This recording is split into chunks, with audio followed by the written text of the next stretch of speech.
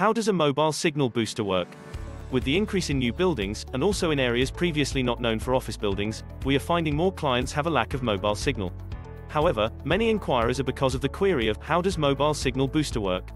What is a mobile signal booster?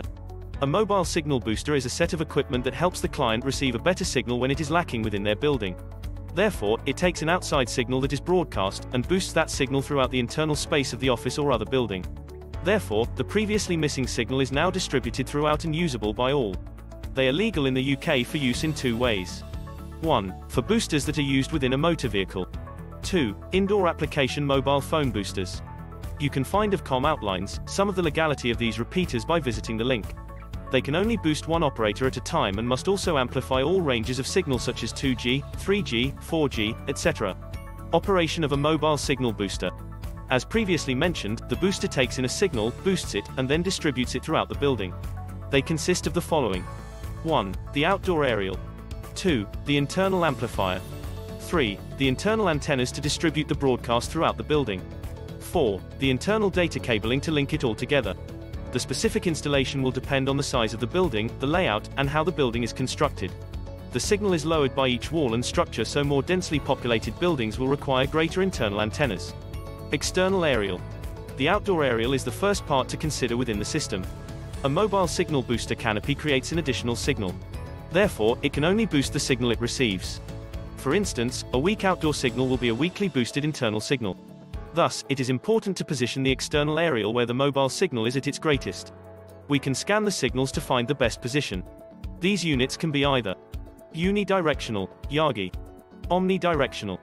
The difference between the units is their signal receiving scope. Therefore, the unidirectional or Yagi will pull in a signal from a 45 degree scope. In contrast, the omnidirectional can see the signal in a 360 degree coverage. Therefore, due to its focused field of vision, the unidirectional can pull in the signal from a greater distance away. Internal amplifier. The internal amplifier is where the signal from the external aerial is first sent. Furthermore, the external signal enters the amplifier, and is boosted throughout the building to designated positions. The amplifier is usually positioned in the main communications room so that it can be maintained along with the regular IT equipment. Internal antennas. The number of antennas will depend on the size and makeup of the building. Also, what proportion of that building needs to be covered.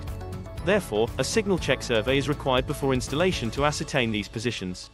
In addition, the antennas are usually installed on show for best performance. Therefore, if they are to be hidden away, the signal will decrease and an additional number of units will be required. Internal data cabling for a mobile signal booster. To link together all the above elements, specific data cabling needs to be installed. For instance, data cabling is required from the external aerial to the internal amplifier. In addition, individual data cables are required from the amplifier to the internal antennas. Depending on the locations and distances to the internal units, a different cable can be specified. Thus, the importance of a pre-site survey to check requirements. Installation summary. In many aspects, the installation of a mobile signal booster is the same as installing a new Wi-Fi system. They both have a central point where data cabling runs back to.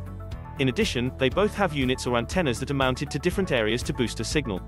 The only difference is that the signal booster has an external aerial that needs to be connected.